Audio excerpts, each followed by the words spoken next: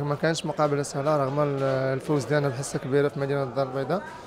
فهذا ما الانهزام ديالنا ما كانش باننا ما كناش مزيانين.